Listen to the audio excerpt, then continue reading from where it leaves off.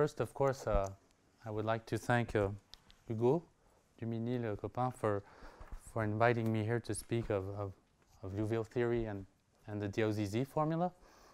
So, uh, um, so of course, I found so with my colleagues, you know, we found the quest of you know understanding this DOZZ formula quite exciting, and, and, and I hope that I'll be able to communicate to you some of this excitement. Um, when we started this a few years ago, at least for us mathematicians, it was a rather mysterious formula, and now we, we finally understand it, at least with, uh, in a probabilistic uh, language.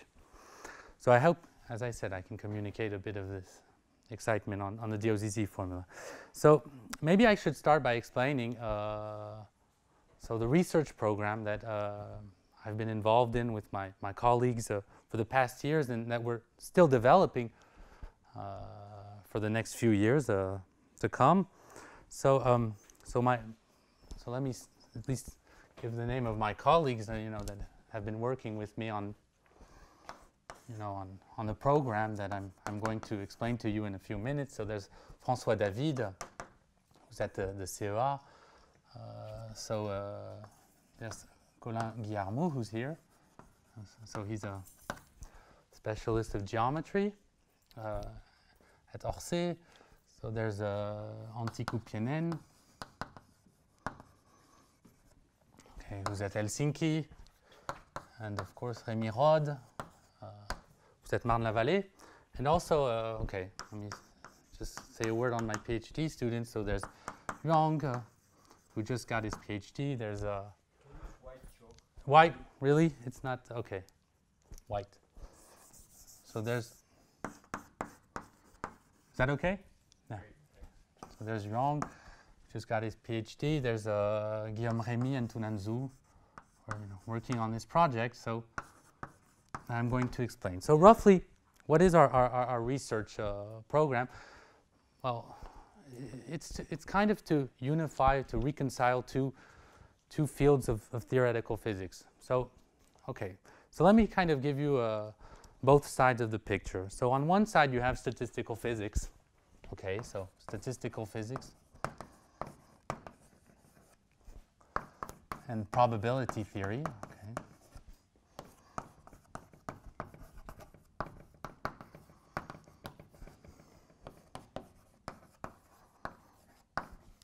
okay? And, well, what is the goal in statistical physics? Well, I were, well, it's kind of to study, you know, and, and compute, say, path integrals, okay? So something that's going, you know, you want to compute something like a function of a field phi with respect to some action, what is called an action, So when you're going to have a potential and you're going to have some background measure on your field. So uh, roughly a, a, large amount of statistical physics is about, you know, studying these kinds of objects. So in the discrete, they're usually very well defined. You know, this is just a discrete measure, and so you try to take scaling limits, but you can also try to directly construct them in the continuum and, and study them, etc. So I'd say that this is a large amount of of what you want to do in, in statistical physics. Now, for Liouville, so for those who don't like path integrals, let me say right away that today, except for this small introduction, there will be no path integrals, just probability theory. Okay, but let me just say a few words. So in Liouville, well, what you what is well, okay, I'm going to put a 1 over 4 pi here, but doesn't matter much to put a 1 over 4 pi, but just to be consistent with my notes. So in Liouville, well, the potential is, is going to be, so say 4 pi mu. So mu is the positive cosmological constant. Uh, if I really, uh, and so exponential gamma to the phi, where gamma is a parameter, which is going to belong to 0, 2. I'm only going to discuss this case in these lecture notes. We can go beyond 2, but don't, well, beyond at least 2, 2. I'm not going to discuss this in these lecture notes. And if I really want to be rigorous, I have to add some curvature term. So here you have some manifold, say. And so Q curvature times phi. And Q is this special value that people have seen talks on Liouville field theory or Liouville quantum gravity. No, it's this is the Q. Okay, and in Liouville, what you want to compute, you know, on the statistical, so in the statistical physics language, say, is these path integrals where you look at the correlations of your fields. Sorry, it's going to be k in my notes, I guess. V alpha k, zk. So these guys belong to the complex plane. So in Liouville, the manifold is going to be C, or the Riemann sphere. Okay, and this guy here, it is, what's his definition? Well, V alpha z is exponential alpha phi z. So I'm writing it in a physicist notation. Huh? I'm, okay, so this is for Liouville, but more generally, okay, we're on the side of statistical physics here. Okay, so um, well, if you do probability theory, so probabilistic side, so probability, what are the objects involved on this side of the picture? Well, it's the Gaussian free field. I mean,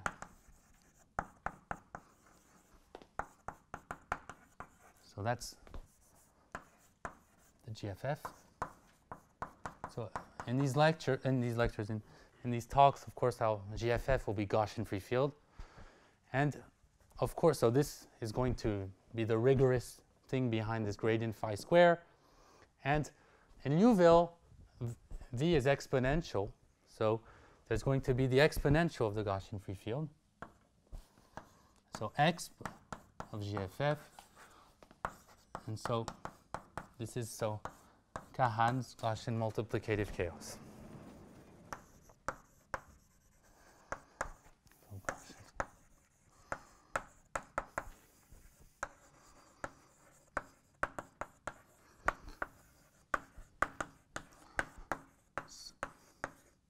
So this is going to be called GMC in the lecture notes and in this talk.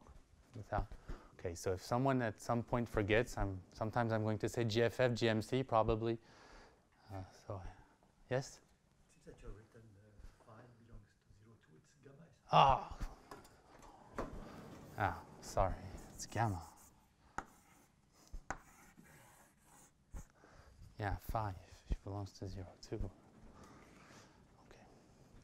Okay, and on the, you know, in the statistical physics literature, uh, there are lots of formulas, okay? So, so as I said, I'm going to present two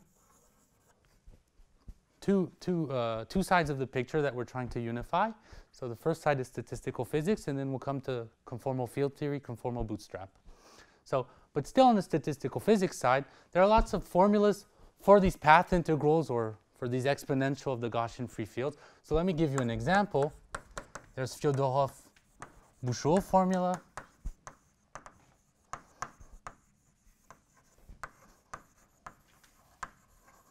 There's Okay, there's a formula by Fyodorov, uh, Le Doussal, Rosso, etc. And so they have exact formulas for, for these kinds of path integrals or in probabilistic language for exponential free fields. Uh, Fyodorov, uh, Le, Fyodorov, Le Doussal, Rosso.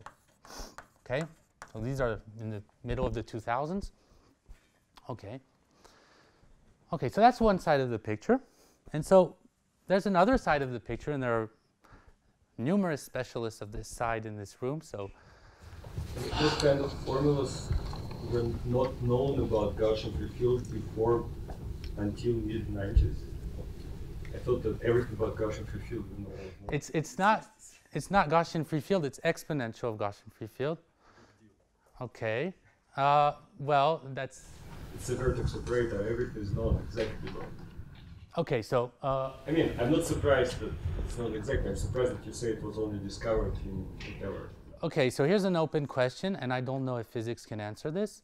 Is uh, if you take uh, the exponential of a Gaussian free field on the Riemann sphere, it's a pro- and you integrate it on the Riemann sphere. It's a it's a random variable. What's its distribution?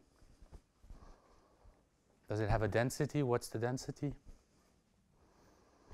That uh, that you cannot extract from the DOZZ formula a priori.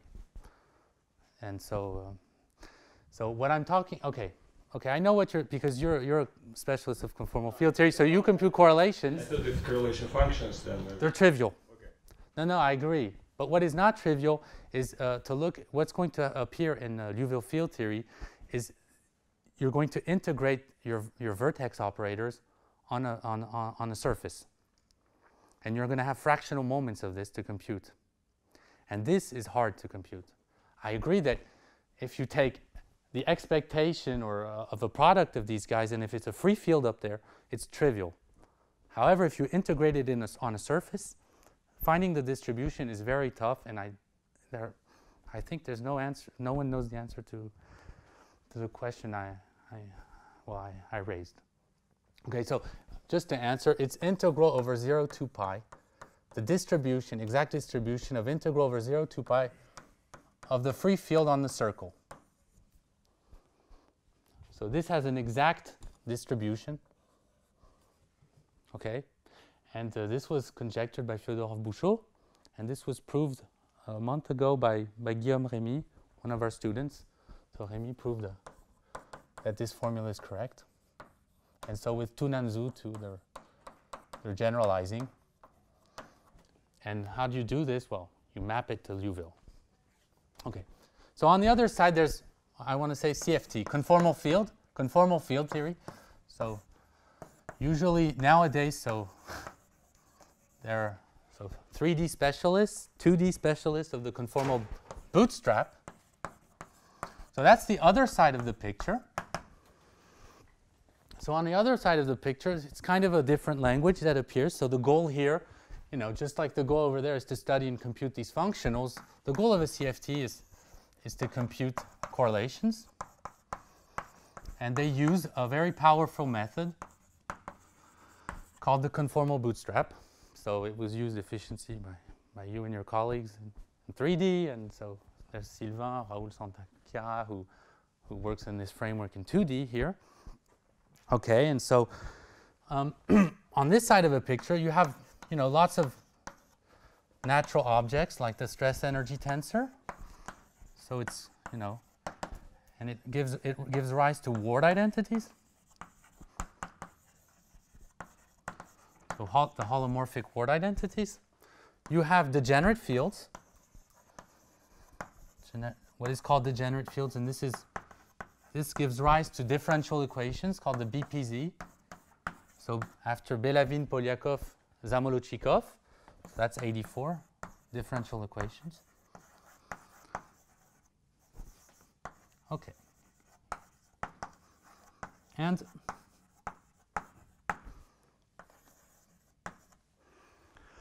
okay, and you have formulas, of course, and so there's the DOZZ, for instance. For okay.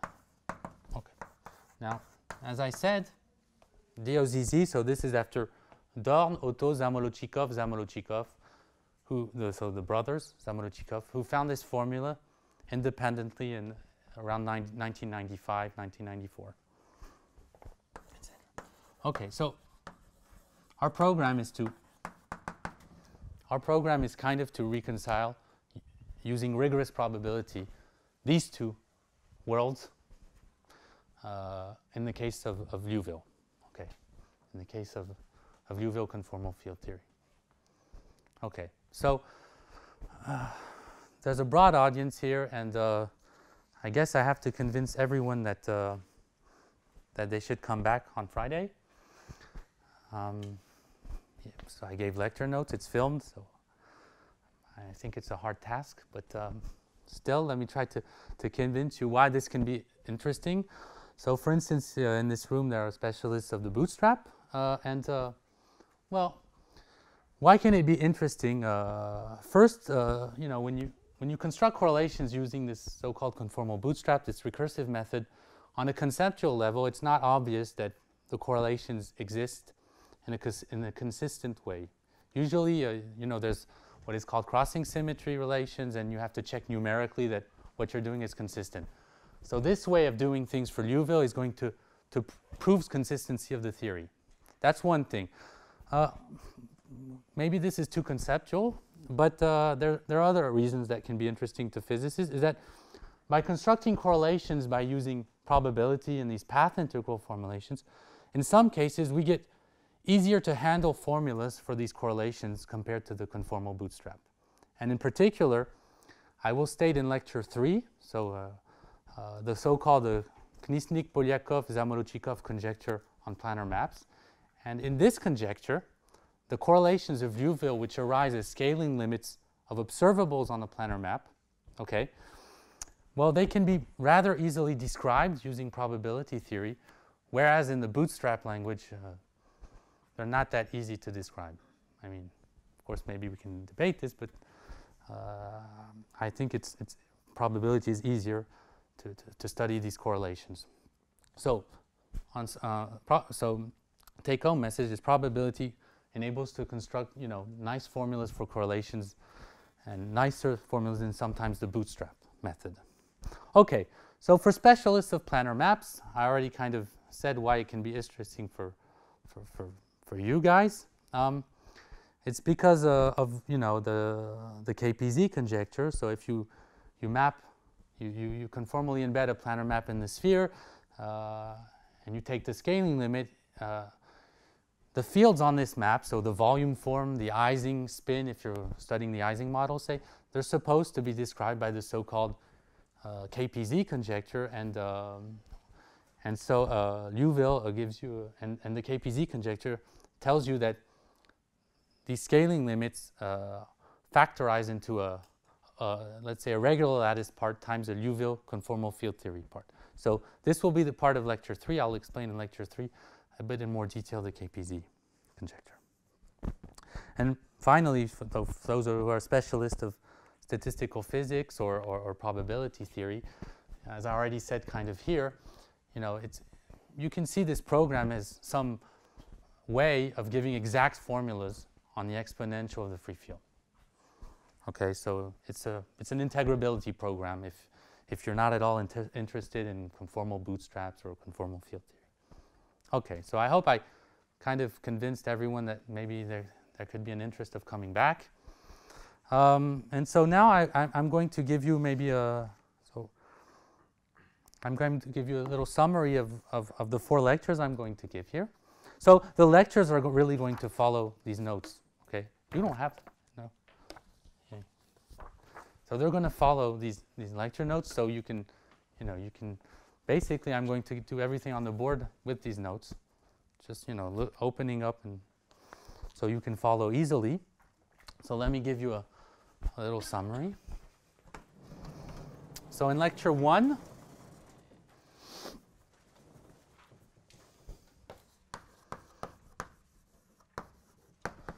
okay, so what is lecture one? So I'm going to give so now I'm going to forget in lecture one on this path integral business, I'm going to do probability theory today. So lecture one, I'm going to give a probabilistic probabilistic definition of the correlations of the Liouville correlations. So I'm going to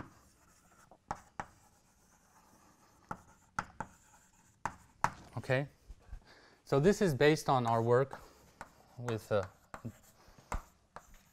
with François David, Antti Kupiainen, Rémi Rhodes. So Liouville, Liouville quantum gravity on the Riemann sphere. So, so here I will not explain. Riemann has one n? No, I forgot.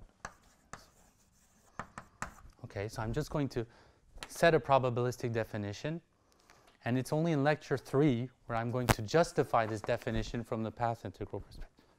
But today I just want to define every single object we're going to work on in a very uh, you know, precise way using probability. And I'm going to state the DOZZ theorem. So this is based on two works with Antti Kupiainen and Remy Rhodes, so KRV1, let's say, and KRV2, I'm going to state what we proved. Okay, the, we gave a probabilistic content to DOZZ.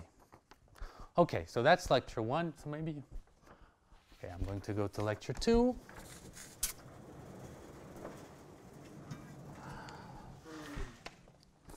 Uh,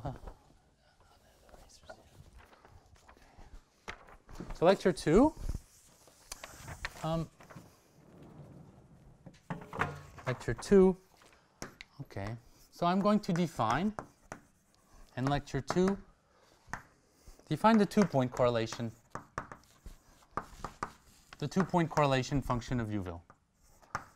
More precisely, I'm going to give a probabilistic formula for the two-point correlation. So, okay, here's another abbreviation, LCFT, Liouville conformal field theory. Okay, so roughly, I'm going to define, so in, in conformal field theory, the two-point correlation function is called the reflection coefficient. And so I'm going to define with my language here. So this is going to be my notation with these vertex operators. Um, I'm going to define this thing. So it depends on gamma and mu, so I'm going to stress this. And it's going to be defined as the limit as epsilon goes to 0 of epsilon, so quite naturally, I mean, of this. So I take a three-point correlation function. It blows up when epsilon, when one of the vertex goes to 1. So this is going to 1. Uh, you know, it's exponential epsilon something, so it's going to 1. And it blows up, and if you, you, you cure the divergency, then you get a two-point correlation function. And I'm, so for those, I'm going to explain why this is, so if alpha equals gamma, I'm going to explain why this is the partition function of a random measure called the quantum sphere. So the quantum sphere is a, an equivalence class of random measures which was introduced by Duplantier, Miller, Sheffield in a paper called uh, Liouville quantum gravity as, as a mating of trees. Okay, so they develop a theory of random surfaces with two marked points, 0 and infinity. And I'm going to explain how this enters precisely into the framework of Liouville field theory. It's nothing but working with the two-point correlation function of Liouville. Okay, so this I'll explain. And uh, of course, I'll get a corollary to the DOZZ formula. So the DOZZ formula is, sorry, it's a formula for the three point. So if you get a formula for the three point correlation function, of course you get a formula for the two point since it's the limit of a three point. Okay, so this is it's an exact formula, DOZZ, so on this. Okay, so it's maybe a bit abstract, you know, this notation of vertex, but I, am going to jump into the, the rigorous definition in, in 10 minutes, okay? So lecture three is going to be, uh, I'm going to, maybe I'll say it uh, out loud rather. So lecture three, I'm going to explain why the definitions of lecture one of these Liouville correlations, why they are a faithful representation of this, these path integrals. It's probably it could be interesting to physicists that to see how from a path integral, which is ill-defined for us, we get a clean probabilistic definition for, for the Liouville correlation functions.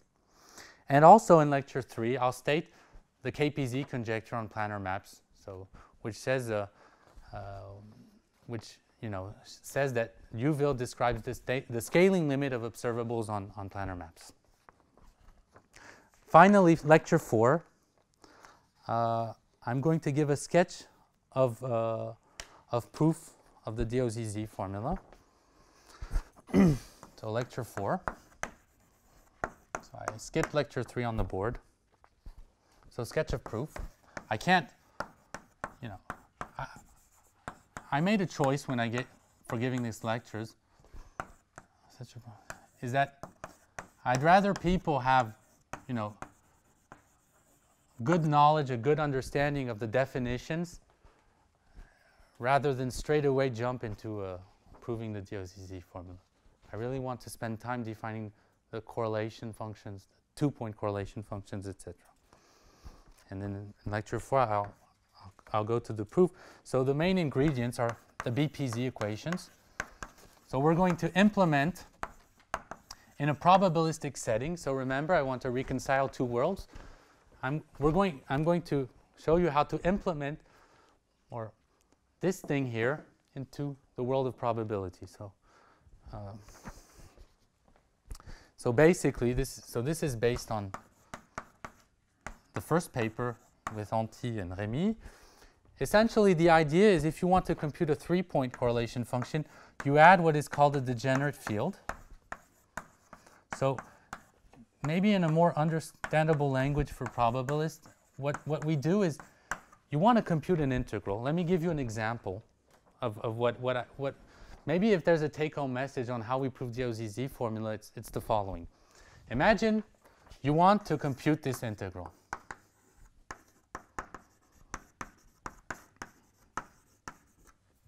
Okay, so if you want to compute this integral, there are numerous methods. But when you know you're, you're starting math, probably the most famous one is if you try to, to compute this directly, usually you fail. So what do you do? You try to add a parameter inside and study the associated function. So the one way to prove this is to do this. So you add, you look at this function. Okay? Now what, why did you, so the integral you want to compute, it's 5, 0. Phi of infinity is 0. So you know the boundary, one boundary condition, not the other. But why is this interesting? Because you can take the derivative of this guy. Okay? And so the derivative is this. And so this you can compute. It's 1 over lambda squared plus 1. Uh, or, or more generally, it, it, it, phi is going to satisfy differential equation. And so it's the same idea behind proving the BPZ, the, um, the DOZZ form. You want to compute this some kind of infinite dimensional path integral in the physics language. So you add a parameter inside, which is z, a complex variable, and you show that this thing satisfies a differential equation. You look at what happens when z goes to 0 or z goes to 1. You know, you look at the boundary conditions. And these boundary conditions, you can imagine, well, are going to be three-point correlation functions. So you're going to get lots of relations between these three-point correlation functions, and at the end you're going to conclude that uh, there's only one solution, DOZZ. That's the rough idea behind the proof, and uh, so it's based on this, and it's based on, you know, studying this four-point correlation function on the boundary. So when z goes to zero or one, now what happens when z goes to zero, one? A physicist would say, okay, you're doing an operator product expansion. So you're studying your four-point correlation on the boundary.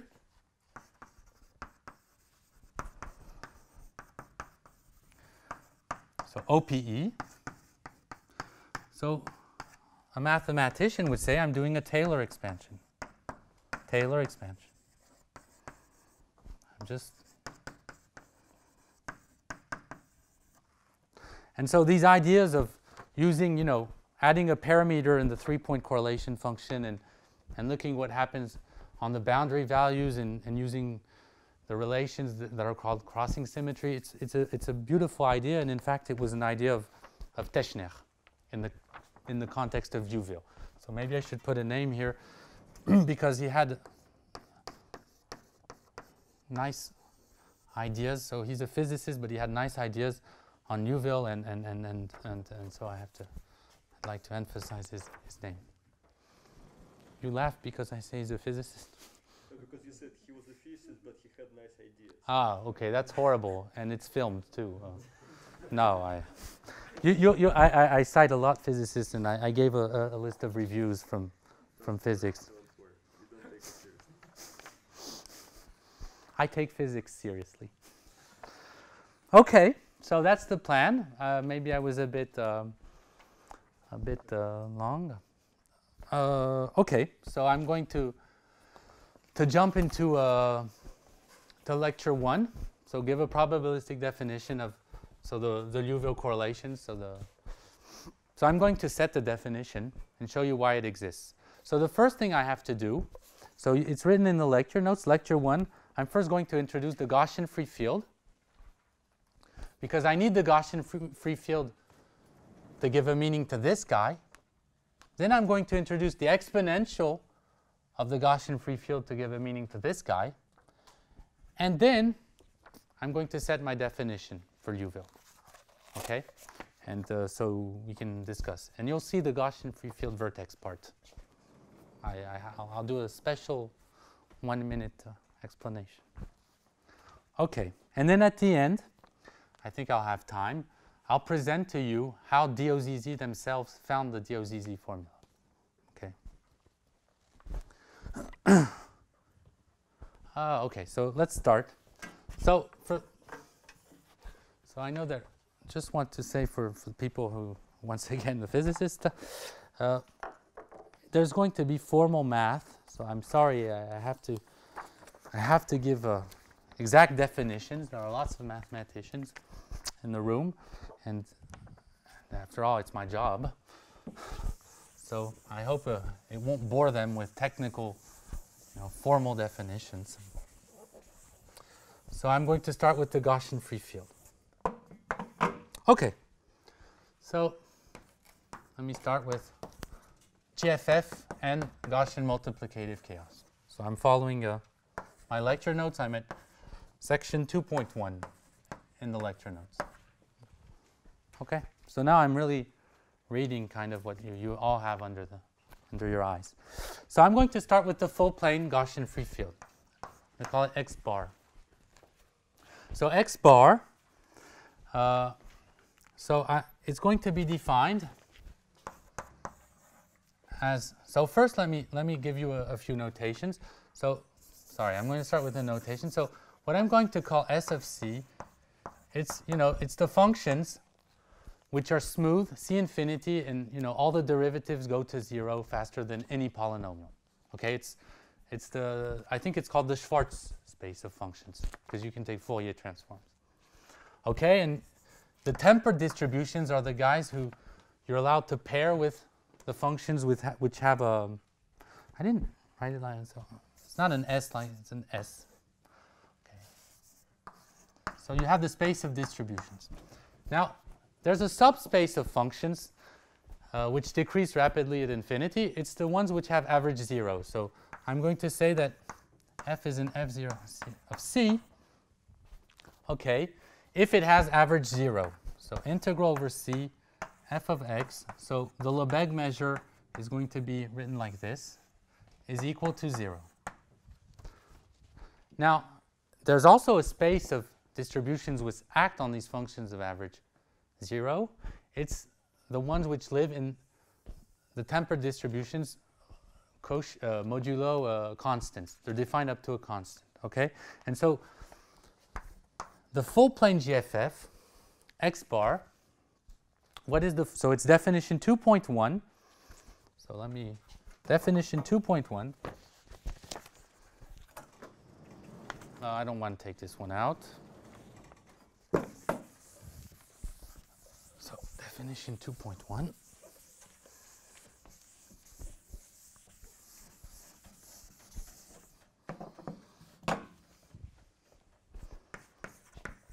Definition 2.1. So the full plane GFF is is what I call x bar. So if I integrate it, so I'm taking the, the notation of generalized functions where, you know, when I apply my my distribution, my random distribution. So it's a random guy living in here. So he belongs to the tempered distributions. Okay. Actually, modulo r. Okay, so it's defined up to a constant. So if I take someone of average 0 here, and I take another guy g of average 0, then this is a Gaussian variable. And if I want to determine my field, I just need to compute the covariance with respect to these two guys. And so I get, so I wrote a simple integral in here. So I get f of x, g of y, log 1 over x minus y, d2x, d2y. And this is nothing but the Fourier transform. So the Fourier transform is 1 over xi square, so 1 over f square if you're in for, frequency. And so if f equals g, you see this is so for f equal g, this is non-zero, uh, non-negative. So that's the, so it's defined up to a constant because if you change x bar by a constant, since this guy has average zero, it's because the log here, the correlation is, is, is only defined, uh, is only, you know, conditionally positive definite. Now, once I got have a full plane GFF, I can construct all the Gaussian free fields I need in these lectures or, or on the plane. And so what you do is written in the notes. Well, if you want to define something which is defined not modulo constants, well, all you have to do is take x bar and, and, and remove an average of x bar with respect to a probability. So if I have a probability measure, sorry, if I have a probability measure on the complex plane, so this is a probability. Well, I can look at this field. X bar. I take out its average with respect to the probability. So let's write it like this. Okay, so this is a, now this is a field which is not defined up to a constant. Because if I shift x bar by a constant, here and here, they, it goes away. So it's really defined uh, against any test, test function. And so this is how you produce all your Gaussian free fields on the complex plane. You take a full plane, which is defined up to a constant, which has logarithmic covariance. You take out any average of this guy with respect to a probability measure, and it gives you a, a Gaussian free field. Okay? Uh, of course, rho has to have some regularity because if you take a, something which gives only mass to one point, it's not defined. So you, uh, essentially, I will not discuss this anymore in these lectures, but essentially, you know, you can you can integrate your Gaussian free field against much more than just, you know, smooth functions. As long as this thing here is finite, okay, for instance, you can take uh, only continuous functions, but you can you can take really pro probability measures which are not regular. Uh, as long as this thing is finite, you can consider this guy here. Okay, so if if so, the the real definition is you need if you want to define this, you need you know a finite energy condition. So it's just that I start with a clean definition, but then as soon as I have something like this, I'm allowed to uh, consider this variable and I can consider this field. Now, there are, um, so I give examples in the lecture notes. Uh, and so I'm able to avoid, you know, uh, things get, getting complicated. I will only work with uh, one Gaussian free field in all four lectures. And I'm going to take rho. Uh, rho will be the uniform probability measure on the unit circle. Okay? So in all these notes, x is going to be this. The Gaussian free field I'm going to work with in these notes is going to be x bar of x minus integral 0 over 2 pi x bar e theta d theta. So let me register this formula. So I have a, an index of notations in my lecture notes. Uh, I'm only working with this guy. So it has, if you take the average with respect to the unit circle, it, it's worth zero. So this is the Gaussian free field, and the covariance can be computed explicitly.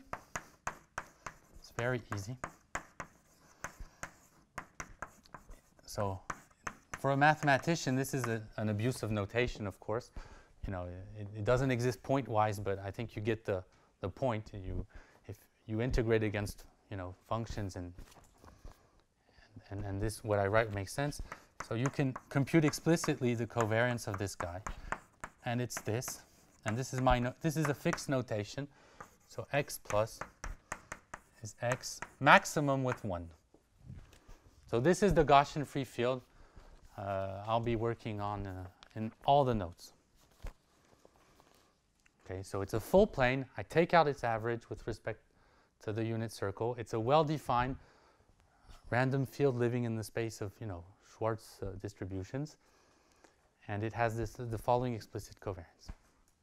Okay? So we have to agree on, you have to understand the definition of my, free field. Now, so this is the gradient part, and now I'm going to, th there's a break at, at, half, or is it two hours? Uh, okay, I, I think I'll, I'll have a break at, at 3 p.m., just a two minute. Okay, so now I'm going to define the exponential of the Gaussian free field x that I'll be working with uh, for all these uh, all these notes. Okay, So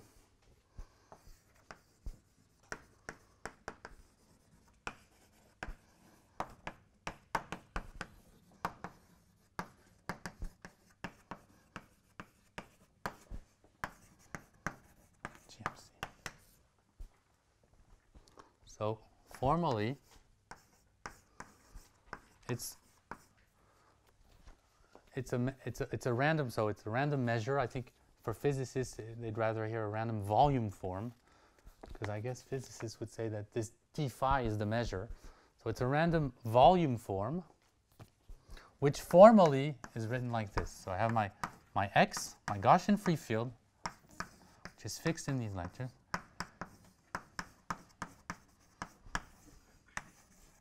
So this is what the object I'm going to define now.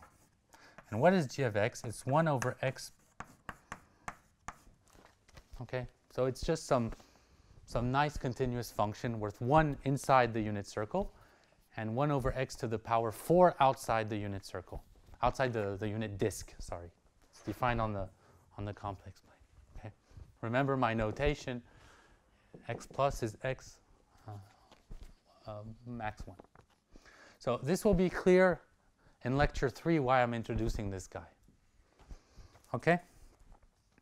So uh, you see, since this guy is not defined pointwise, you have to regularize it. So you define this. So this is uh, the proposition 2.2. So Kahane, 85. How do you define this guy? Well, you, you take your Gaussian free field, you regularize it with any smoothing procedure which is reasonable, okay? and you take the limit.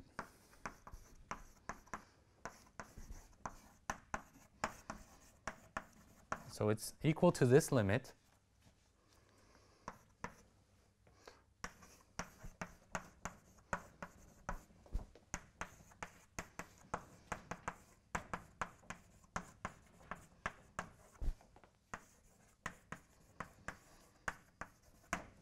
Okay, that's how you define things. So in language of probability, if x epsilon is a Gaussian free field that I've smoothed at, at scale epsilon, so typically what am I going to take here? I'm going to take, okay, what am, I'm going to write it down here. I'm going to take x epsilon of x is going to be a smooth mollification. So theta is going to be some smooth function, say. I mollify my Gaussian free field against the smooth function. Okay, so I make, so, you know, I'm smoothing it at scale epsilon. I take the limit, and then uh, I get a random measure, which is called Gaussian multiplicative chaos. So this is what Kahane proved in 1985. So I don't want to go into all the history of these measures. He proved it in some setting, and then there's been a huge amount of papers, you know, extending the, set, the setting of convergence of this theorem. I gave a reference in, in these notes, a reference to a work of uh, Nathanael Berestycki, who, who, you know, who, who has a nice proof of, of this kind of theorem uh, in a general setting.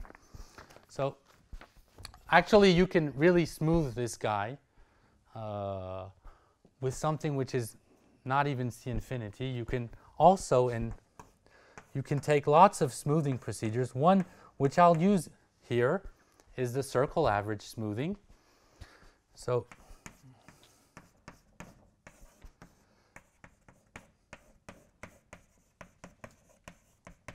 I guess Duplantier Sheffield uh, uh, Duplantier Sheffield used this smoothing procedure in one of their papers. Oh well, in, in all actually. So basically, the take-home message is, however you, you, you, you regularize your field, you know, there's, there's a theorem that says that it converges to a, a random volume form, these, ran, these volume forms, and that these, these, especially these random volume forms do not depend on the way you smooth your field here. Okay, if theta, you replace it with some theta tilde, you'll get the same limit, okay, in probability. And you can even work with discrete Gaussian free fields. If you want, you can start with a discrete Gaussian free field, you know, and construct a discrete measure, go to the limit, you're always going to converge to the same object, called Gaussian multiplicative chaos. Okay? Now, where is this condition gamma smaller than 2? It's because Kahane proved, so where am I going to continue? So Kahane proved that, so it's in the proposition.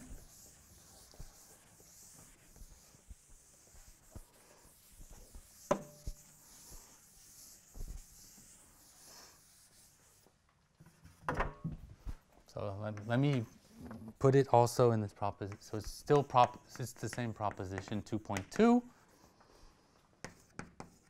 Okay. M gamma is different from zero if and only if gamma, so let's say gamma is positive because by symmetry you can take it positive. If and only if gamma belongs to the interval 0, 2. Okay? So that's where this comes from. This condition. physically what's happening? Why did you gamma here? Because uh, I can give you a, a few line proof of this by a scaling argument, which will maybe, but basically when gamma gets big, if you, you know, if you, if you, if you, if you simulate, say you take epsilon very small, you simulate this density, you're going to see that as gamma goes big, it, it concentrates more and more on very large spikes.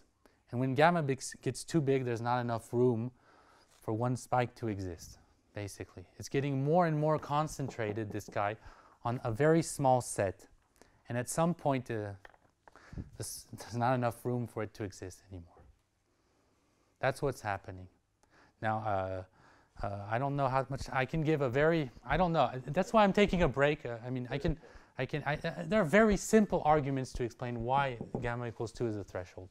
So I'll see, maybe I'll, I'll do that. Um.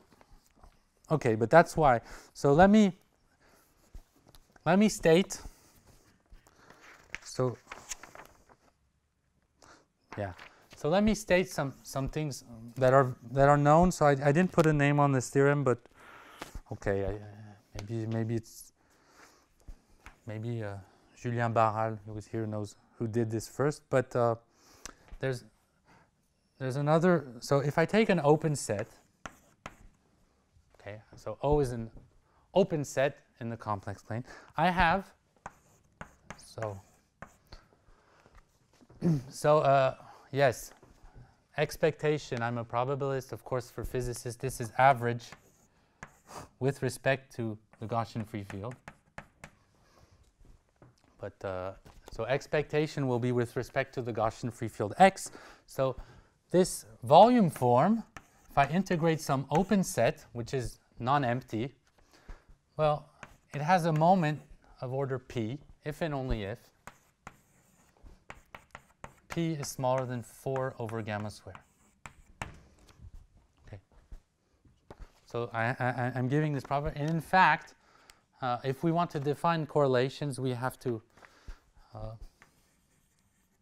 we have to give a more precise statement. So now, if I take some real number, so let me enumerate a few properties of these measures, and I take a complex i, well, I can ask the same question putting a singularity around z, and the statement is the following.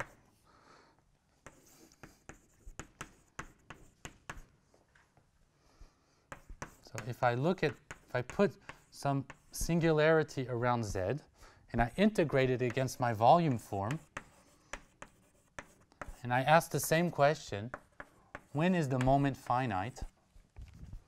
Okay, well, so do I have room? So can I put it here? It's equivalent, this being finite, to the following condition, p smaller than 4 over gamma square, infimum 2 over gamma q minus alpha, where uh, q is the q which appears up there.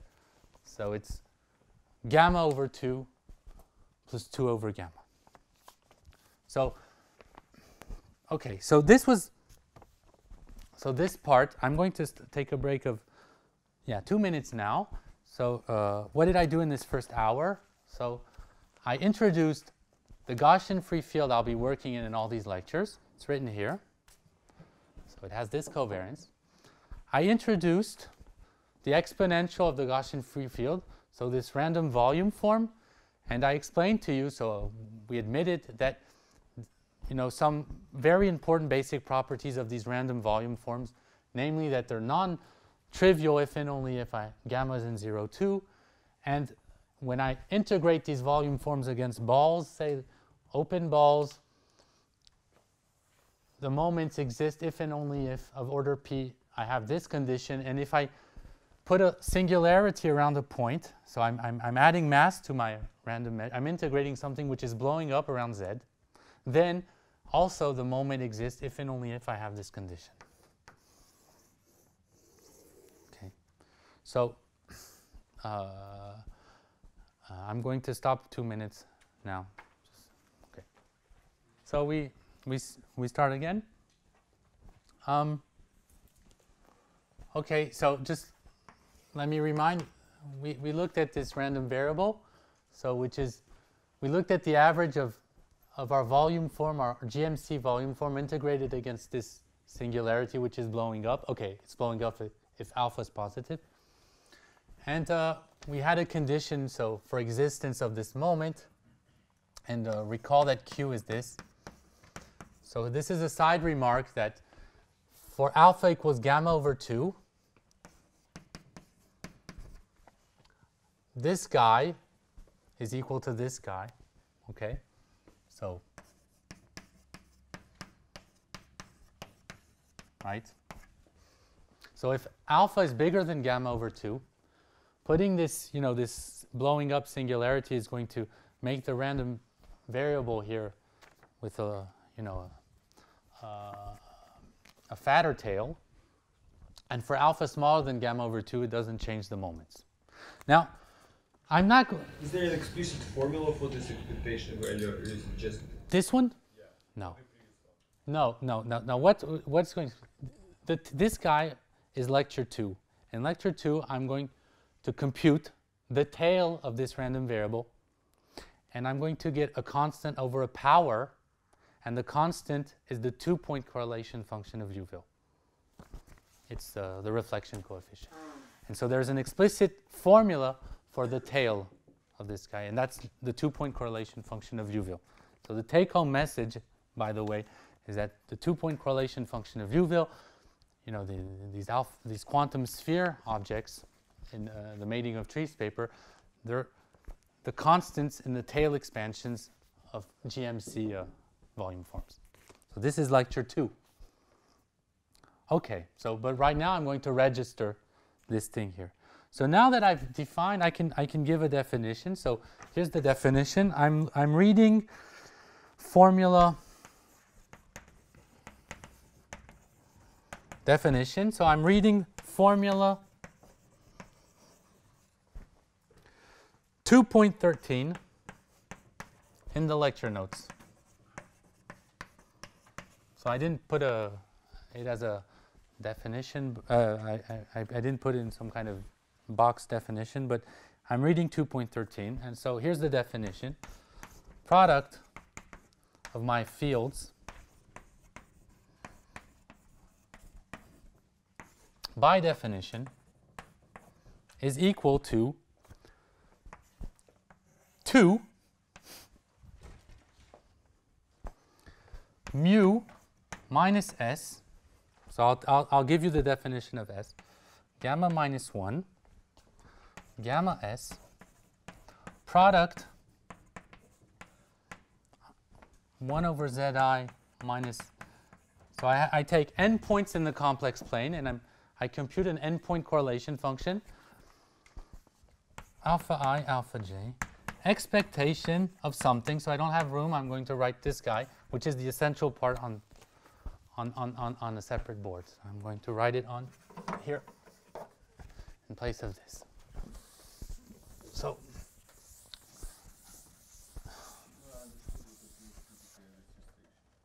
Excuse me?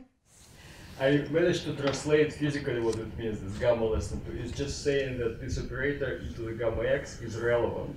And we know that if it's not relevant, then it, there's no continuum limit. Ah, is, It doesn't make sense to perturb a theory by an operator which is irrelevant. ah, okay. Yes, but it's it's that. It's that if you if if okay, i i i- so you're happy now with this thing. Okay, it's just okay. If if if you put, you can't put this here with alpha bigger than, uh, okay, you know, with alpha bigger than two. But it, just it, it doesn't change the action. Okay. But we actually prove this. We spend lots of time. So the expectation here is the main part of Liouville. So I'm sorry I can't write in. So the expectation is. So let me write it like this. Say 1 over the integral on the complex plane fx of z. So uh, I did a, a fat or a bold, I don't know, z here. So I integrate my volume form. I take a fractional power of it. And what is S? So S is sum by definition minus 2q over gamma. And what am I integrating? I put a fat z here. Product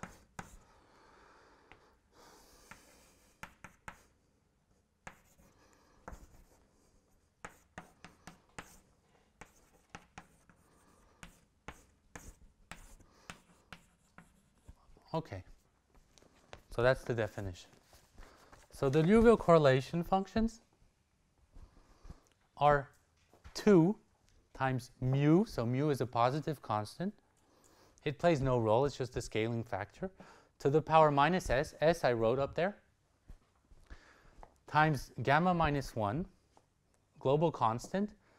The gamma function, so I guess everyone knows what the gamma function is. It's the, you know, it's uh, the complex, uh, the meromorphic function with poles at the, the minus uh, the integers, times this cross product, the Gaussian free field part. And what is really special about Liouville and what makes it difficult is to compute this expectation. So this part here, it's times to the power s the integral of my volume form ag- integrated against you know these these these this function so what is this function so this is worth 1 if I'm inside the unit disk and x outside the unit disk but especially what is you know kind of interesting is that you get uh, 1 to the power x minus zk to the power gamma alpha k. You get singularities around the points zk in your definition. And so you have to integrate them against the measure. So that's the definition, okay? So uh, I decided to, to, to throw this definition in lecture one. and so um, I'm going to, to, I wanted everyone to see it. I mean, so the, here it is. If you want to say something on Liouville, at least if you're a probabilist, you have to study this guy. That's the, that's the goal. I don't know if it's. Okay, so first thing, Is this hard to show in this real formula? it's it's not very hard to show from the path integral. It's okay. I'll explain this in lecture three. The main ingredient is the Girsanov theorem, and for a physicist, it's just the complete the square trick. So I don't know if you know the complete the square trick, but uh, okay. Oh, you have uh, people who, who, who use complete, but I can explain uh, anyways. When I'll do lecture three, uh, okay. So this is the starting. So first, let me let me let me write the bounds. When does this thing exist in the sense that it's non-trivial, not equal to zero? Well, I've written all all we need on the board here. Okay. If you you have to check that this moment here exists and is non-trivial. Okay. So so how can when do you define these guys? Well, this expectation I wrote here, it belongs to 0 infinity if and only if minus s, so I can I can write it even explicitly say 2q minus sum for k equals 1 to n alpha k over gamma is what? So first thing, if I, you know, if I take some ball which doesn't intersect the zk's, I need this measure to, to, I need this volume form to have a moment. So I need this bound here. So remember, I'm taking to a power s, minus s, sorry, the Gaussian, the GMC volume form against a function. So I need this to be smaller than 4 over gamma square. Now I also need, if I look at this guy here, I have to look at what's happening if I integrate, if I look at this guy around a ball centered around zk here, it has to have a moment of, of minus, I mean, it has to, inter, um, has to have a moment of order minus s, right? So I just copy this thing here, and so I need it around each point, and I get infimum with the minimum for k between 1 and n, 2 over gamma q minus alpha k. So this is the condition to ensure existence of the Liouville correlations in a probabilistic setting.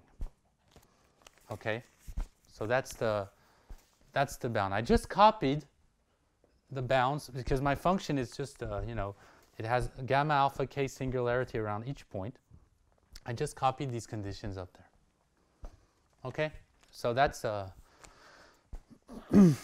that's that's that's that's how far you can get using probability to define Liouville correlations. Of course, if you get out of these bounds, you can define this object. It's it's going to be zero or infinity, but it's not the right object. So using probability enables you to define Liouville for a certain set of bounds, but not outside these bounds. Actually, we're trying to see how far we can go with complex alpha k's, etc. But when you're real, this is uh, uh, this is as far as you can get. Okay, so let me make a remark. So, and it's very important that we have these because we want to work on this with these bounds, and and and and, and they include the famous, you know, Seiberg bounds. So the Seiberg bounds, 1990. So it's a review that I cite in my lecture notes. The Seiberg bounds are, oh, sorry, I forgot an essential bound too. Um, I forgot, sorry, I have to add them. Where am I going to add them? Uh, I need also that alpha k is smaller than q. So I need alpha k smaller than q. Okay, because if alpha k is bigger or equal to q, it's easy to show that in fact this, this guy is worth infinity almost surely. Okay, so these are the, if alpha k is bigger than q, this is, this guy is worth infinity. So these are the two bounds, and they include, so that's as I wanted to say, they include the Seiberg bounds. Okay, so Seiberg was working at, in this path integral formulation in 1990, and he, he found bounds for the existence. And uh, but we can go beyond the Seiberg bounds, and it's very important to go beyond the Seiberg bounds. So Seiberg, it was uh, 2q minus sum over alpha k negative, and for all k, alpha k smaller than q. Okay, so this, of course, is included. This is a, a bigger, because of course this is positive. So, so these are the bounds for for existence. Okay, so uh, I, I, took some time to to uh, to explain. Uh, so of course these global constants can seem very mysterious, but they're due to the fact that we want to, to show the three-point correlation is DOZZ, and we have to tune the constant for it to be true. Of course, you know, DOZZ is defined up to a constant, but when we prove a theorem, we, we need to, to put the exact constants we want. Oui. Could you put this as a definition? Exactly. Can you explain where it comes from? Lecture three. The, the, the, you, I mean, I, I wanted everyone to see the definition, and, and it's well, you know, it's a well set definition, right? But where does it come from? Well, essentially, this comes from the Liouville potential, which is the, the V phi up there. Uh, and, uh, and, and, and, and this comes from the Gaussian free field part. I mean, everything is explained in lecture three in a transparent way. I mean, uh, and I'll explain next week why, where it comes from. But for now, I'm, I'm trying to, to give the definition. So uh, what, what one can actually show, so the following thing. So the KPZ relation. So the KPZ relation is, if I take a Möbius transform on the Riemann sphere, so this will be actually proven in lecture three, but I'm stating it here. So, okay, one can prove the following.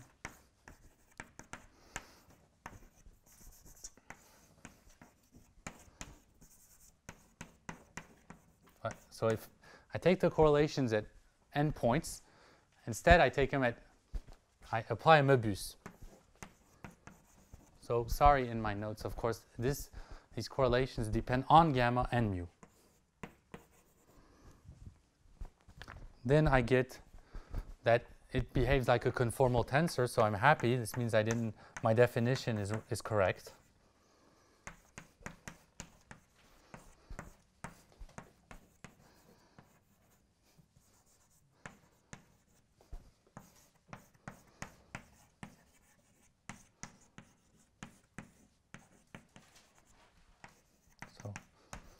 And I have the, so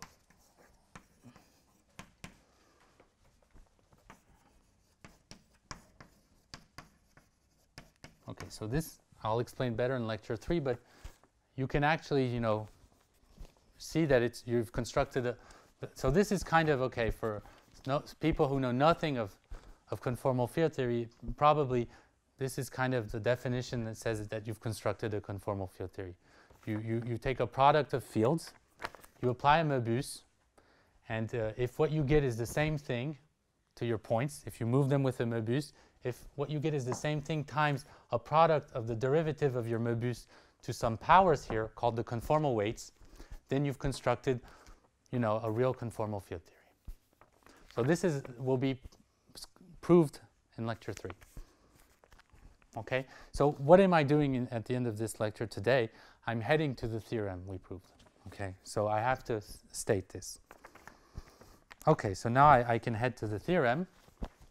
But um, I don't want to erase the definition, so I'm. Okay, so when you have a Möbius on on the Riemann sphere, when you take three points, there is a unique Möbius. Okay, you take three points and you take another three points, there is a unique Möbius which sends these three points to the other three points. Okay? So this this thing here, this this conformal conv- covariance condition, it restricts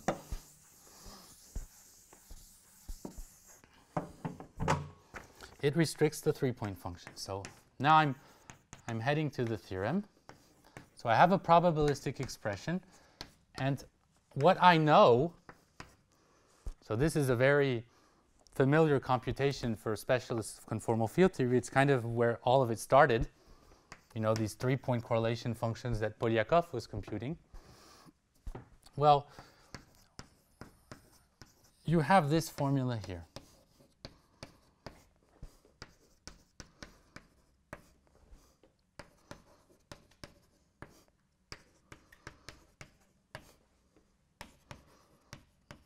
Here I have a constant. So I should make it depend on mu in my lecture notes. I didn't make it depend on mu, but it's implicit. So what is this formula?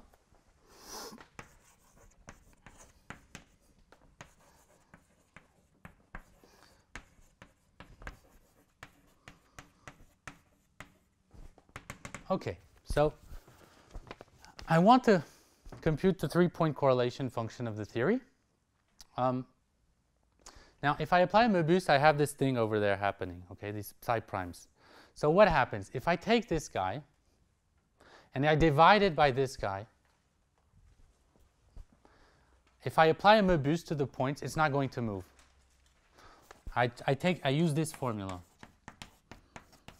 If I take a Möbius, I know that this is equal to psi prime zi to the power 1 half psi prime zj, zj sorry, to the power 1 half zi minus zj. This is a, uh, so this is a take-home exercise. If I take az plus b over cz plus d, and I make look at the difference in the complex plane, I get the derivatives times the difference. So if I take this guy, I divide it by this guy, and I apply any Möbius, it's easy to see that by using this computation that it doesn't move. So if it doesn't, so since three points can be mapped to three other points, any three other points, this means that the ratio, this three-point correlation function divided by these, this product, it's a constant. So you get for free from this relation that there is some constant, okay, and uh, such that the three-point correlation function is this. So this is a very, you know, it says that the conformal covariance property of correlations in conformal field theory completely restrict the three-point correlation functions up to a constant. And so you can extract this constant. So sometimes you, you so this is what physicists uh, write sometimes, you know, quite naturally, like this. They write it as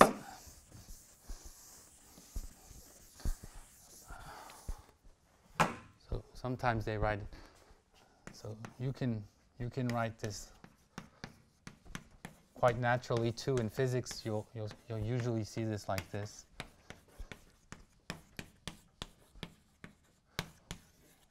Okay, why? Because if you look at this formula, it's easy to see that C gamma alpha 1, alpha 2, alpha 3 is the limit Okay, so let me not get this wrong. Z3 going to infinity. Z3.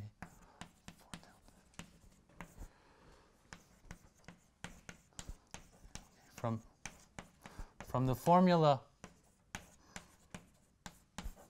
okay, if I look at this formula, it's easy to see that if I take this three-point correlation function with the third point going to infinity and I renormalize properly, I get exactly the constant I'm looking for. Okay, and I get an explicit expression for this constant in the probabilistic setting. And this constant is worth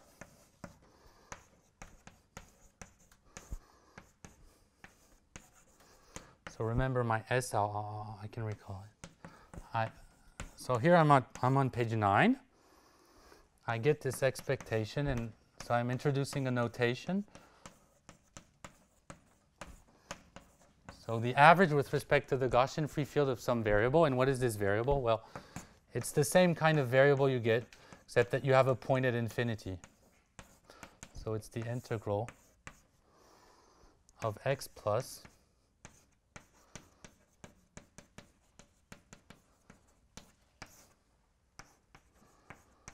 So I've sent one of the points to infinity, which I integrate against my GMC, my Gaussian multiplicative chaos volume. So I get this compact formula for the three-point constant. Okay. All right. So now I can state the purpose of these lecture notes, of these okay, these lectures, which is what we proved. Okay, so S here, let me recall, S is alpha 1, I have three points, minus 2q over gamma. Now let me make a side remark, just a, a minute side remark for okay, people who know nothing of the bootstrap. Uh, you know, I, I, told you in the beginning that our program was kind of to reconcile the bootstrap and probability statistical physics. Now, what do people do in the bootstrap? They start by saying that the three-point correlation function is this. They find a formula for this. So this sets the three-point correlation function. And then recursively, hence the name bootstrap, they, they compute the four-point, the five-point, the six-point correlation by a recursive procedure. So their, their way of constructing correlations is completely different than what I presented for the past hour. What I did is I, I straight away gave you endpoint correlation functions. I didn't yet explain exactly why they're interesting, but I'll do that in lecture three via the KPZ relation. But I, I gave you a definition for endpoint correlation functions. It's still written here. Now, what they do is they give a definition for the three point, and then they recursively compute the four point, the five point. And what we want to do at the ultimately is to show that what they do in physics when they do that for Liouville is, uh, is, is equal to this probabilistic construction. That's our goal. And the first thing, the first you know, matching part is to show that the constant that they inject in the recursive procedure, the DOZZ formula, it coincides with our probabilistic formula. So this brings the so what these lectures, I guess, are about. Just, just one question. You, you, in your formula for the last one, the integral, mm -hmm. x plus, right? Yeah. So this is plus comes from your proper def the definition of the. Uh, Let me write it. Max of x and one. Okay. Does it come from the particular GFF you took with yes. co covariance? Yes. It, it, it, it, it, it, doesn't matter. Oh, sorry. So that means if you had chosen another normalization, you'd have gotten a slightly different one? Yes. This, uh, this is the background metric. More generally, you take any metric and you get the same formula up to a constant. It's the Weyl anomaly. But I don't want to talk of Weyl anomaly in these lectures. I don't want to talk of different metrics I, because I don't want to get you know, people confused. So I just work with one GFF. But I can work with any GFF and I just have different things here. So there are an infinite number, if you want, of probabilistic formulas for this. But I chose one for these lectures. Okay, so here's... Also, from a practical point of view, yes, it would be interesting to know if uh, the following simple result follows from your theorem, from the deep theorem, that if you just discretize everything naively on the lattice, and we compute this thing on the lattice by doing some Monte Carlo simulations, and we compute this three-point function. Yeah. And in the limit of the lattice spacing going to zero, are we going to get this formula or not? Uh, this one? Yeah. Or the DOZZ? Uh. This one or DOZZ? Yeah, if you discretize the free field. Well, you don't discretize the free field, you discretize the whole thing. That path integral. Ah, yes, if you discretize that path integral, I mean, you, you, you're going to converge to, yeah, to this thing and to the DOZZ. It's contained. Yeah, I, I think, I, am not sure I understand completely, but I think yes. Maybe. Okay, so here's the, the theorem. So, so with my co-authors, so Antti Kupiainen and Remy Rhodes. So it's based on two papers. so C gamma, alpha 1, alpha 2, alpha 3. This thing I define is fractional moment. So it's a moment of some variable depending on alpha 1, alpha 2, alpha 3 inside the variable, but also in the moment. So because S is related to the alpha i's. This thing here is equal. So assuming, of course, that alpha 1, alpha 2, alpha 3 satis are real, which satisfy the, the bounds I, I gave you. So, so alpha 1, alpha 3 satisfy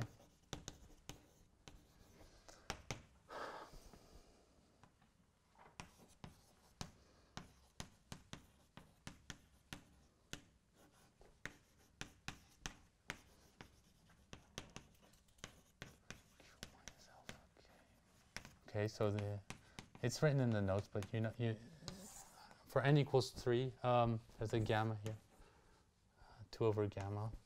So if if they you know if they I wrote it uh, okay previously, but they satisfy these bounds. Oh, okay, I can write it a bit more nice.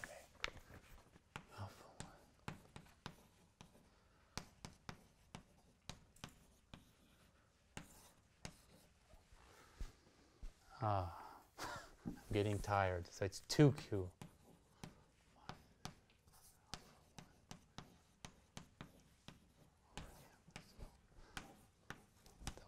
So the condition for it to exist on the probability side.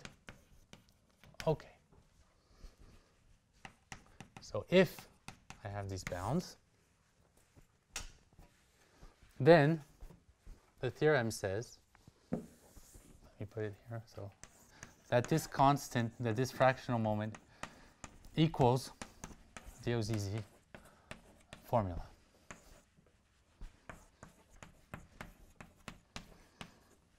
Okay. So, uh, of course, I didn't define the DOZZ formula. So I have, now I have time let me, let me write the DOZZ formula. It's written, so at the beginning, really at the beginning of the notes, I wrote this, okay, kind of, it's a, it's a really non-trivial formula. So.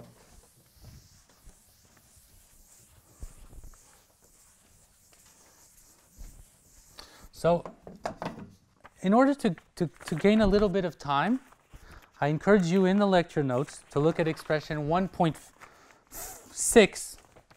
So 1.6, rather than me writing it wrong, 1.6 is a clean definition of Zamolodchikov's upsilon function, which is a, holo a holomorphic function defined on the complex plane, depending on the parameter gamma over 2, and which has simple zeros that I've, I've indicated. So the DOZZ formula is this. So this constant I defined, this three point, is equal to the following formula.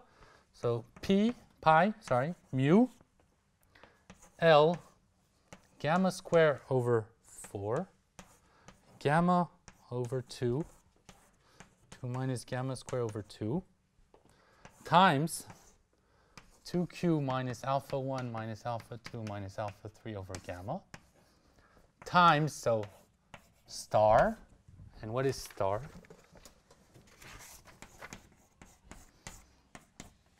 Okay, so let me first say what L is. So first L, sorry. So what is L? I'm introducing two special functions, the upsilon function from Zamolodchikov and the L function.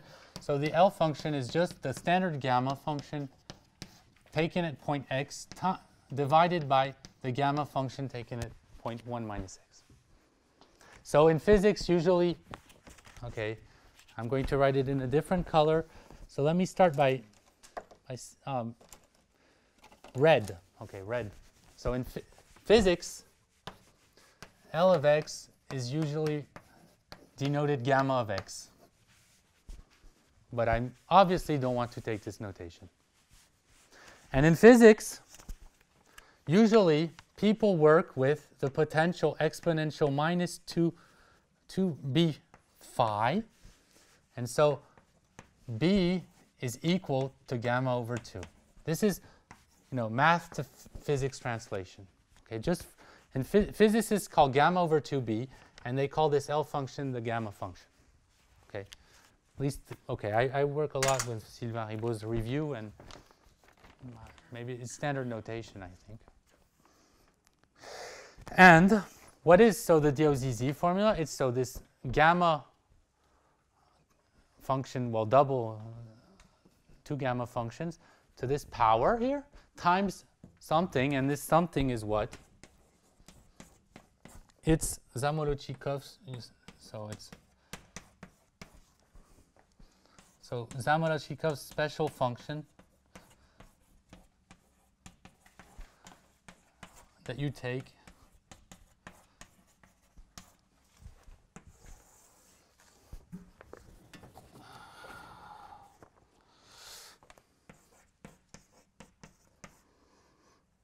So I'm going to explain what alpha bar is in a minute.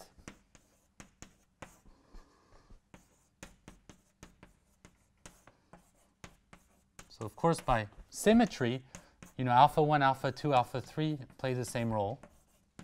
So you see this, of course, on the formula. Okay, so there's four upsilon functions. So I encourage you to look at this function. It's a relation 1.6, page 3. Okay, and alpha bar is, I should have put it here actually, it's the sum of the alpha i's. So I'll put alpha bar and I'll put here that, so DOZZ is this thing to the power 2q minus alpha bar over gamma times, you know, 8 upsilon Zamolodchikov functions. And alpha bar is the sum of the alpha i's. So this is what we proved. That's the, the, the statement. So you see, when we started a few years ago, uh, we had these path integral descriptions up there.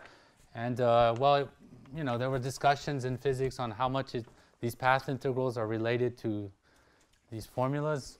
Uh, and, um, and uh, okay, we tried to understand it. And, you know, after some work, we, we managed to prove this theorem. Okay, so we have our first uh, link with the conformal bootstrap approach of, of Liouville. So the second open problem would be to show that you know four point, five point correlation functions are given by these bootstrap procedures. So this is still an open problem. Okay. So I have a uh, okay, I have 20 minutes left. So I'm going to explain to you now how DOZZ found DOZZ. Okay. So I'm going to, the good, the good news is that I can cast their derivation within my probabilistic framework. Of course, they were using path integrals and everything, but we can translate in the probabilistic language what they did. So that's what, that's what I'm going to do in, uh, in the next uh, 20 minutes. So let me, let me just, okay, let me just say a word on this DOZZ formula, which is going, so I'm going to set it up there for good.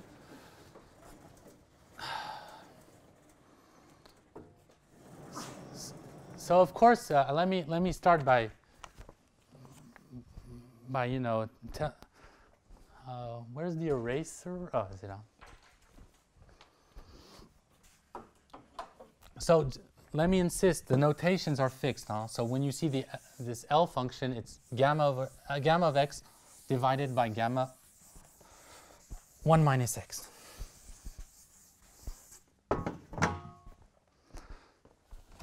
So of course, I mean, the first time you see this formula, it's it's it's it's it's very mysterious. Uh, I I guess for most of you. The second time you see it, it's still very mysterious. But if you look at it a bit, at the end, you, you, you start to understand what happens. So let me say that a crucial point on this formula is, is the following. If I take this function, okay, sorry, DOZZ. So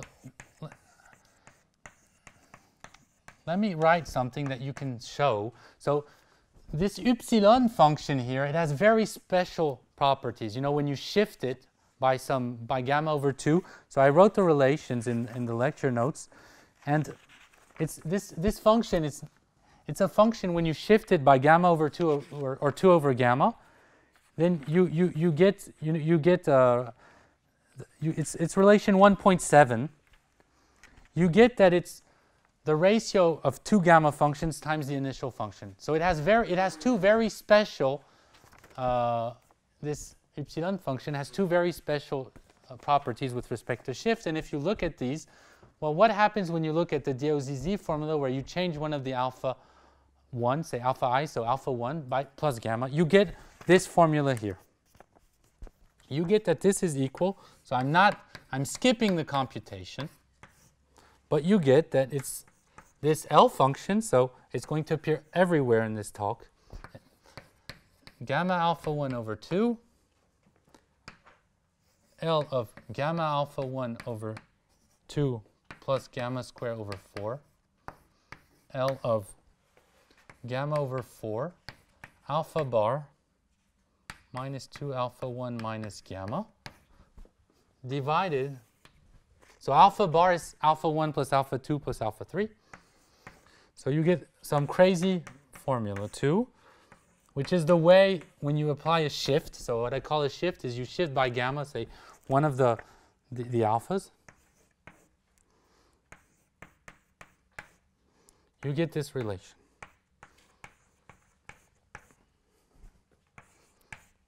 And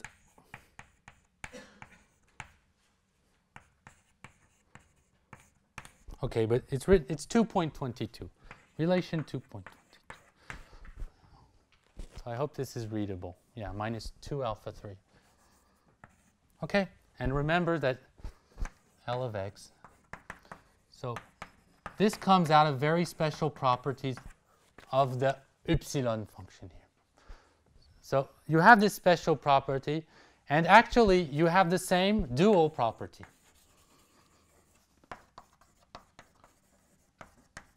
But you get the same equation by replacing gamma over 2 everywhere by 2 over gamma. But, and this is kind of, you know, you replace mu by a dual, so this is by a dual cosmological constant, mu. So I don't know it by heart, and this dual, yes, it's equal to minus.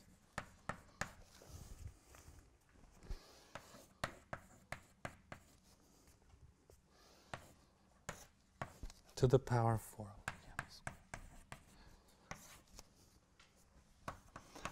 Okay, so it's a bit, you know, complicated business, these formulas, but okay, so if you change one of the alphas by alpha plus gamma, you get the ratio is worth, you know, these, the- all these products of L functions, and you get the same thing if you if you shift by plus 4 over gamma because you're replacing, and you replace your mu by some other mu mutil called the dual cosmological. I mean, this is just uh, stuff that comes out of complex analysis with this formula. It's because of the very special prop. So let's just register this crazy formula, and now I'm going to explain how uh, DOZZ found the DOZZ formula. Okay? Good. I have. So let's go. What did they do? Okay, so I am following page 10, the derivation of the DOZZ formula in physics, analytic continuation of the Dotsenko-Fateev integrals. What did they do? Um,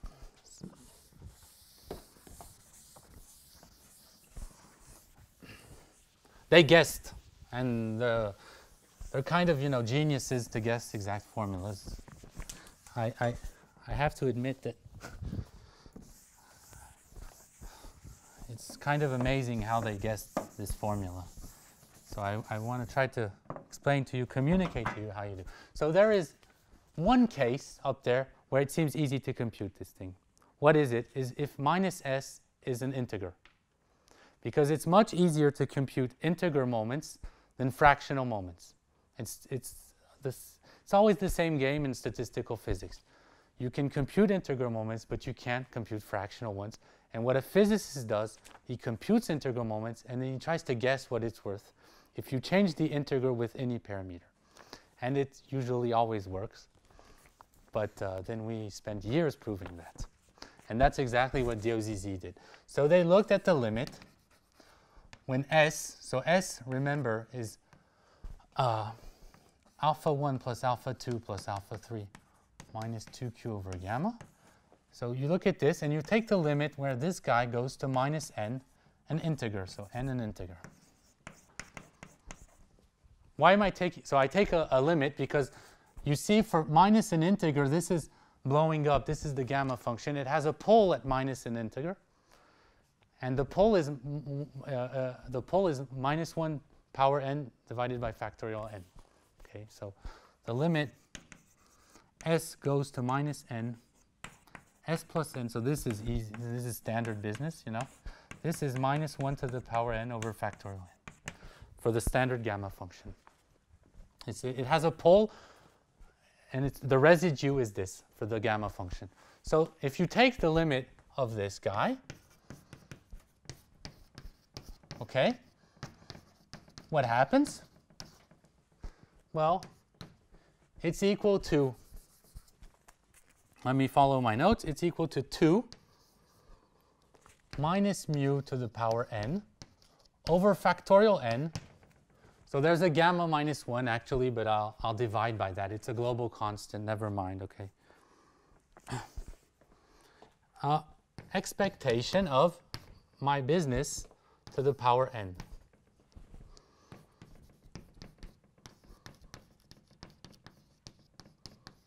Alpha 1 plus alpha 2 plus alpha 3 divided by x to the power gamma alpha 1, 1 minus x, gamma alpha 2 Okay. Exponential, so I'm writing my measure under the, the formal notation to the power n.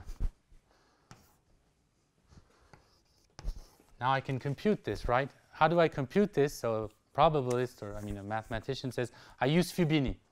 So I this is this to the power n. It's like an n-fold integral with respect to n variables. And then I can interchange the average with respect to the randomness and the average on the complex plane.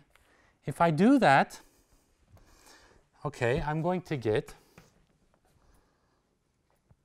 okay, I'm going to get this. So 2 minus mu to the power n, factorial n, of so I'm doing it at a formal level, but everything can be made completely rigorous. You just regularize your field here, and then you go to the limit. And what do you get? You get the integral over n point, so n in the complex plane, product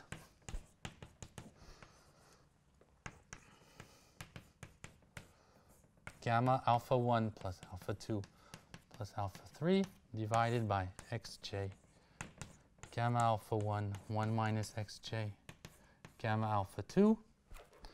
Okay, expectation, product of these parts. So this, people who do statistical physics are, you know, they recognize straight away what, what's going on here. Oh, I always forget the square here. Okay, it's a square. Okay. So I get this product and I get a product of the, of the measures, right?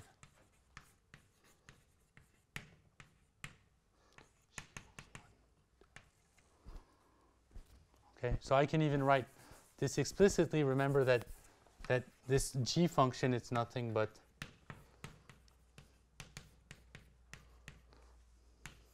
Oh, no, there's no expectation anymore. Okay, I, I, I did Fubini. Now this is a Gaussian variable, so I can compute everything, right? Okay, it's, it's, so this is just the product for i smaller than j, okay, of 1 over xi minus xj to the power gamma square. uh, and I still have to do Uh, so I still have these guys too. Let me do it a bit more. So this is not true. Uh, let me let me do it by steps because otherwise I it's the end. So I'm going to mess up what I'm going. So this is let me write this more. This is going to be expectation gamma square sum i smaller than j. I have a Gaussian here, so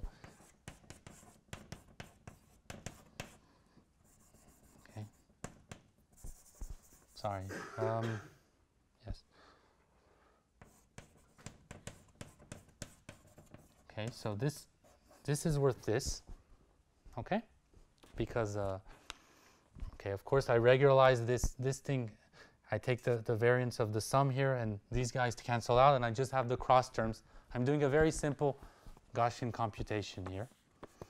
Now if I, and remember that this guy here, remember the formula is x of x, x of y, the covariance is nothing but log 1 over x minus y plus log of x plus plus log of x y plus. So this is max of y and 1, remember? Now if you, so if I use this formula here that I have here, I inject it here, you know, I massage a bit all this, what do I get at the end? I get this. 2 minus mu to the power n over factorial n integral cn product j equals 1 to n. So xj plus gamma alpha 1 plus alpha 2 plus alpha 3 plus gamma square n minus 1 minus 4 product 1 over xi minus xj to the power gamma square. So xj gamma alpha 1, 1 minus xj gamma alpha 2. Okay, and I forgot here the product of. Okay. So it's kind of okay, it's, it's a bit nasty computation, but. So you get this thing. Okay, I'm integrating on x1, xn. I have this formula. And if you look at things, so what is important in this formula is that if this is equal to minus n here, you can see that this is equivalent to, sorry, this is equal to 0. So this is equal to 1. So this guy is 1. So this is exactly what Bertrand was referring to. It's independent of the background metric. This is the Weyl anomaly. In my computation, this thing has to disappear because it's completely arbitrary. So I get 1 here. And then I get this, this integral, 1 over this, these products, and then it's the Dotsenko-Fateev integrals. You know, the ones they computed to construct the, the three-point structure constants. And so you have a formula, and I'm going to conclude in a few minutes. Yeah, in one or two minutes. And you go see in the, so DOZZ went to look at the, they went into the, to look into the Dotsenko-Fateev papers and they found an exact formula for this guy. And they found a crazy formula. Okay, so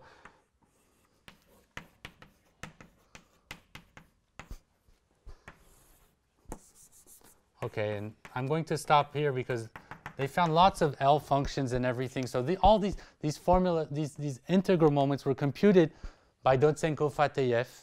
They found, you know, so it's written on page 10. They found a a, a crazy formula, uh, Dotsenko Fateev for these integrals. And then what did DOZZ do?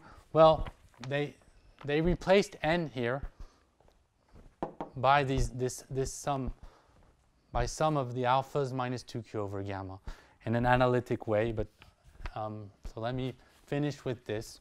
So at the end, at the end, if I call this integral